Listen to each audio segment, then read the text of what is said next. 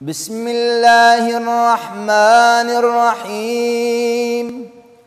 اللهم قوني فيه على إقامة أمرك وأذقني فيه حلاوة ذكرك وأوزعني فيه لأداء شكرك بكرمك. واحفظني فيه بحفظك وسترك. يا أبصر الناظرين.